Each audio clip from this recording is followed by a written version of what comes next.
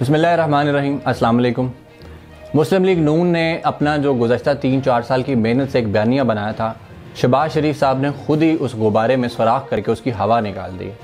अब वो बयानिया क्या था? वो आप सबको पता है कि सिविल सुपरमेसी का जो शोर मचाया गया, जब पनामा का स्कैंडल आया, नवाज़ शरीफ के खिलाफ केस हुआ, उनको नायल किया गया, फिर उसके बाद सज़ा हुई तो मुस्लिम लीग नून ने मिलजुल कर ये पूरा बयानिया कायम किया कि जी हमारे ख़िलाफ़ ज़्यादती हो रही है, इदारों ने मिल के हमारे जो जो पर केसेस बनाए, हमें पावर ताकत से निकाल दिया गया हमारे खिलाफ केसेस झूठे बनाए गए। और इसके अलावा उन्होंने ये बयानियाँ कायम किया कि जी, इमरान खान जो है, वो इस्टेब्लिशमेंट का पपेट है या इमरान खान ने उनके साथ मिल के कोई इनके खिलाफ साजिश की है।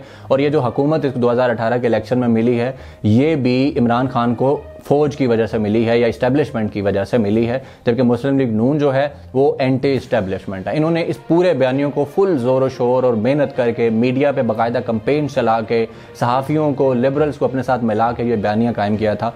कुछ दिन पहले शबाज शरीफ साहब लंदन से वापस आए और ये कहा कि जी, मैं पाकिस्तान आया हूँ, मुश्किल वक्त में जो कोरोना का मुकाबला करना है, अपनी कौम के साथ खड़े होना है। लेकिन उसके बाद आपने देखा कि वो घर बैठ के वीडियो कॉल जो है, उसी पे ही अपनी पार्टी के साथ मीटिंग्स कर रहे होते हैं। इसके अलावा जब उनको नैब ने बुलाया तहकीकात के लिए तो उन्होंने कह दिया कि जी, मैं उनहत्तर साल मेरी उम्र है, इसके अलावा मैं कैंसर का मरीज़ हूँ तो मैं बाहर नहीं जा सकता। लेकिन मुस्लिम लीग नून साथ ही जो है, वो शोर शराबा मचा रही थी कि जी पार्लियामेंट का इजलास मुनद किया जाए, वहाँ पर बैठ के जो है, वो मामला को जो हैं, सरकारी उन पर बातचीत की जाए। अब शबाज शरीफ साहब ने जो कुछ दिन पहले सुहेल वड़ाई ने जो कालम लिखा है, उसके मुताबिक शबाज शरीफ साहब ने जो इंटरव्यू दिया है कि जी 2018 का जो इलेक्शन था, उससे पहले इस्टेब्लिशमेंट के साथ मेरे मामला तय हो रहे थे कि मैं वज़ी अजम बनूँगा। कबीना के नाम भी फाइनल हो चुके थे, लेकिन भाई साहब मान नहीं रहे थे, इसलिए जो सारा मामला है वो ख़राब हो गया। अच्छा एक तरफ़ नवाज़ शरीफ साहब जो हैं वो इस्टेब्लिशमेंट को गालियाँ देते रहे इल्ज़ाम देते रहे, इमरान खान के साथ साजबाज करने के ताने देते रहे। पूरी मुस्लिम लीग नून यही करती रही मरीम नवाज़ यही करती रहीं। लेकिन शबाज शरीफ साहब ने इस गुब्बारे में से खुद ही हवा निकाल दी, ये बताकर कि जी वो डील के लिए हर मुमकिन कोशिश करते रहे। यहाँ तक कि वजी अजम के लिए भी उनको फाइनल कर लिया गया था, उनकी काबीना के नाम तक फाइनल हो गए थे। तो अब सवाल ये आता है कि जो छोटा भाई है, दरअसल वैसे उम्र के हिसाब से तो वो बड़े हो गए, जैसे उन्होंने कहा जी मेरी उम्र उनहत्तर साल है, और शबा जो नवाज़ शरीफ साहब है, उनकी तो सड़सठ साल उम्र है। तो शबाज शरीफ साहब जो हैं, इन्होंने ये डील की तो क्या ये नवाज़ शरीफ को बगैर बताए की होगी? ऐसा कतन मुमकिन ही नहीं है, क्योंकि जो छोटा भाई है और बड़ा भाई ये आपस में हर चीज़ डिस्कस करके चलते हैं, बगैर डिस्कशन कोई भी मामला नहीं होते। इसके अलावा उस इंटरव्यू के अंदर इन्होंने जो बातें ज़्यादा बताई, जो मज़ीद बताई, वो ये थी कि बड़े भाई के साथ इनकी चीज़ें तय हो रही थी कि जी, जो हमारा सियासी वारस है, वो कौन होगा? हमजा शहबाज या मरीम नवाज़ होंगी। शहबाज शरीफ साहब इस पर कोशां थे कि जी, हमजा शहबाज जो है, वो सियासी वारिस बने। उधर से नवाज़ शरीफ साहब थे, उनका दिल था कि मरीम नवाज़ इसकी वारिस बने। तो इस मामले पर दोनों में डेडलॉक हो गया। उन उस इंटरव्यू के मुताबिक जो बात समझ में आती है कि जी नवाज़ शरीफ ने उनको शटअप कॉल दे दी इस मामले पर। लेकिन इसके अलावा जो मामला था इस्टेब्लिशमेंट डील करने का, उस पर नवाज़ शरीफ साहब ने उनको ग्रीन सिग्नल दिया कि अगर ये हो सकता है तो करके देख लो। यानी आवाम और अपने जो इनके जो मानने वाले हैं, मुस्लिम लीग नून के जो लोग हैं, उनको ये लोग बेवकूफ़ बनाते रहे इतना अरसा ये कह के कि जी इस्टेब्लिशमेंट जो है वो हमारी मुखालिफ है, हम इसके मुखालिफ हैं, हम सिविल सुपरमेसी के लिए काम कर रहे हैं, जबकि जो इमरान खान है वो इनका पपेट है और इस वजह से ही उसको हुकूमत मिली है। और इलेक्शन से जो अगला रोज़ था जब नतज सामने आए थे तो उसी दिन से मुस्लिम लीग नून ने शोर शराबा मचाना शुरू कर दिया था। हालाँकि 2000 जो अठारह का इलेक्शन है मैं खुद उसमें फ़ील्ड में मौजूद था वोट कास्ट किया। एक सहाफ़ी की हैसियत से पूरे मामला जो थे मैं उनको ऑब्ज़र्व करता रहा। 2018 के इलेक्शन में इलेक्शन कमीशन ने एक, एक सॉफ्टवेयर बनाया था आर उसके तहत जो रिज़ल्ट थे वो इकट्ठे होते रहे। जैसे ही रात सात आठ बजे हैं उसके बाद ये जो सिस्टम था ये कोलैप्स कर गया। हालाँकि इससे पहले इसके ट्रायल किए गए थे बाकायदा और ये सिस्टम मुस्लिम लीग नून की हुकूमत की मंजूरी के बाद ही ये सिस्टम जो था, इसको अप्रूवल दी गई थी। नादरा जो है वो इसमें स्टेक होल्डर था, इसके अलावा जो आईटी बोर्ड था, वो स्टेक होल्डर था। ग्रीन सिग्नल मिलने के बाद जो है ये सिस्टम इस्तेमाल किया गया था, लेकिन ये सिस्टम कोलैप्स कर गया और इसका सारा इल्ज़ाम मुस्लिम लीग नून और पीपल्स पार्टी ने पीटीआई को दिया। हालाँकि पीटीआई जो थी वो तो हुकूमत में बाद में आई है इंतबात जो हुए, जो इलेक्शन कमिश्नर था, जो बाकी सारी चीज़ें थी, जो मशीनरी थी यहाँ तक के, वो सारी मुस्लिम लीग नून के तहत थी। इन लोगों ने दस साल जो है वो पंजाब में हुकूमत की थी और पाँच साल वफाक में हुकूमत की थी तो सारी मशीनरी और जो अफसरान थे वो इनके अपने लगाए गए थे। और जो उस वक्त इंटरम सेटअप आया था, वो भी इन लोगों की मंजूरी से आया था तो इन लोगों ने उनको इल्ज़ाम दिए, इमरान खान को इल्ज़ाम दिए इस्टेबलिशमेंट को इल्ज़ाम दिए। हालाँकि जनरल जो बाजवा थे उनकी जो अपॉइंटमेंट हुई थी, वो भी नवाज़ शरीफ साहब और अपोजिशन की मंजूरी से हुई थी। इमरान खान तो अपोजिशन में भी नहीं थे। इमरान खान तो अपोजिशन लीडर नहीं थे। इन लोगों ने खुद उनको लगाया था। बाकी सारे लोग भी खुद लगाए थे और इन्होंने बयानियाँ बना के इमरान खान को बदनाम करने की कोशिश की कि जी, ये इमरान खान जो है, ये इस्टेब्लिशमेंट का जो कारिंदा है, उसकी मदद से आया है। अच्छा एक साल, डेढ़ साल तो ये लोग ये करते रहे। उसके बाद आहिस्ता आहिस्ता ये बयानियाँ जो था इससे ये पीछे हट गए, क्योंकि इनको डील लेना थी। और कुछ लोगों के बकौल डील हो चुकी है। कुछ के बकौल डील अभी मतलब आखिरी मराहल में है या अभी तय होना बाकी है, क्योंकि मरीम नवाज़ वो भी इस वक्त जेल से बाहर मौजूद है, हालाँकि कन्विक्टेड है। नवाज़ शरीफ खुद कन्विक्टेड है, लेकिन वो लंदन में सुकून से बैठे हुए हैं। हालाँकि उनके दिल का मसला था, उनके प्लेटलेट्स गिर रहे थे। जब तक वो पाकिस्तान में थे तो मीडिया रोज़ खबर देता था कि प्लेटलेट्स इतने गिर चुके हैं। बस किसी बिला में नवाज़ शरीफ को कुछ हो सकता है।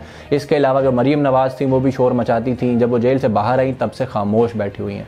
नवाज़ शरीफ जब से लंदन जाके बैठे हुए हैं, बिल्कुल खामोश बैठे हुए हैं। यहाँ उनकी जान को खतरा था, लेकिन लंदन के अंदर कोई खतरा नहीं है। उनका ऑपरेशन होना था, उस पर भी उन्होंने शोर मचाया कि मरीम नवाज़ का मेरे पास होना मौजूद, जो ज़रूरी है, क्योंकि वो मौजूद होगी तो ऑपरेशन हो सकता है इसके अलावा ऑपरेशन ही नहीं हो सकता।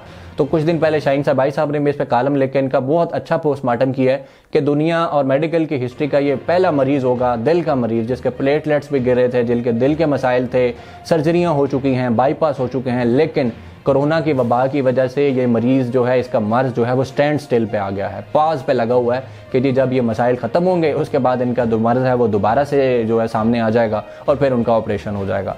तो इनके जो झूठ हैं, वो रोज़ सामने आ जाते हैं, पकड़े जाते हैं, लेकिन ये लोग इस कदर बेशरम हो चुके हैं कि अपने झूठ पकड़े जाने पर भी शर्मिंदा नहीं होते। खुद शबाज शरीफ साहब ने अब अपने इंटरव्यू के ज़रिए ये जो भांडा फोड़ दिया है कि किस हद तक ये सिविल सुपरमेसी के दावेदार थे? हम लोग तो ये बड़े अरसे से ये बात कह रहे थे कि ये लोग झूठे हैं, सिविल सुपरमेसी नाम की चीज़ इनके करीब से नहीं गुजरी। उन्नीस सौ पचासी में जब इन्होंने पंजाब हुकूमत, जब पंजाब हुकूमत में शमूलियत इख्तियार की जयाउल हक के दौर में तो भी जनरल जलानी के कंधों पर चढ़कर आए थे। फिर उसके बाद नवाज़ शरीफ जो वजारत आला दो दफ़ा इनको मिली, वो भी इनको इस्टेब्लिशमेंट के कंधों पर चढ़ के मिली। उसके बाद बेनज़ीर की हुकूमत के दौरान आई जी आई बना के जनरल मिर्ज़ा असलम बेग के दौर में इन्होंने जो पैसे लिए थे जिस पे आईजीआई का बाकायदा एक स्कैंडल भी बना। यूनस हबीब ने उस पर मालूम दी कि इन लोगों को आईएसआई ने पैसे तकसीम किए थे। उसके बावजूद इन लोगों को शर्मिंदगी नहीं हुई। उसके बाद दोबारा से उन्नीस में जो हुकूमत में आए, फिर परवेज़ मुशरफ के साथ इशू बने और इनको निकाल दिया गया। 2008 में जब ये पाकिस्तान आए तो बहुत सारे कलमकार जो थे या हमारे जो तजिया कार हैं, उनके बकौल आसिफ अली जरदारी और जो नवाज़ शरीफ हैं, इनको मुशरफ ने एनआरओ दिया कि ठीक है, आप वापस पाकिस्तान आ जाएँ, आपके सारे केसेस ख़त्म हो गए हैं। और इन्होंने जो उस वक्त अशफाक परवेज़, यानी हम आर्मी चीफ थे, उनके साथ डील तय की कि बारियाँ हमारी तय हो जाएँगी, कि पहले ये और फिर बाद में वो। तो पीपल्स पार्टी ने पहली बारी ली उस दौरान पंजाब में नून लीग की हुकूमत थी, एक दूसरे को दिखावे के दौर, दिखावे के लिए एक दूसरे को टफ टाइम देते रहे, शोर शराबा मचाते रहे, सड़कों पर घसीटने की बातें होती रहीं और उसके अलावा पेट फाड़ कर पैसे निकालने के दावे होते रहे। लेकिन 2013 में जब मुस्लिम लीग नून वफाक में आई और किस तरह से आई, ये सबको पता है। लोग माने ना माने, ये अलग बात है। बहुत सी चीज़ों के हम खुद भी ऐनी शाहिदीन हैं, ग्राउंड पे चीज़ों को देख रहे थे कि किस तरह से धांधली हुई। बहुत सारे पोलिंग स्टेशन थे जहाँ से फेक और जाली जो वोट्स से वो सामने आए। नादरा को तहकीकात का कहा गया। इमरान खान ने जब धरना दिया, शोर मचाया, सारी पार्टियाँ कह रही थी, आसिफ अली जरदारी का बड़ा मशहूर बयान मौजूद है कि यह इलेक्शन आरोस का था। फजल रहमान ने शोर मचाया, सिराजुल हक ने शोर मचाया, सिंध की बाकी पार्टियों ने शोर मचाया ए एन पी भी ने ए एन पी ने भी कहा। लेकिन बाद में ये लोग नवाज़ शरीफ के साथ मिल गए, क्योंकि ज़ाहिर है इनकी डील तय हो गई थी कि आप लोगों को भी हिस्सा मिलेगा और ये लोग चुप कर गए। लेकिन इमरान खान नहीं बैठे, शोर मचाते रहे, धरना दिया, जिसके बाद मजबूरन सुप्रीम कोर्ट और इलेक्शन कमीशन जो है वो इसके तहकीकात करने पे आई। तहकीकात हुई तो बहुत सारे जो हलके थे या पोलिंग स्टेशन थे, वहाँ से बेजाबतगियाँ सामने आई।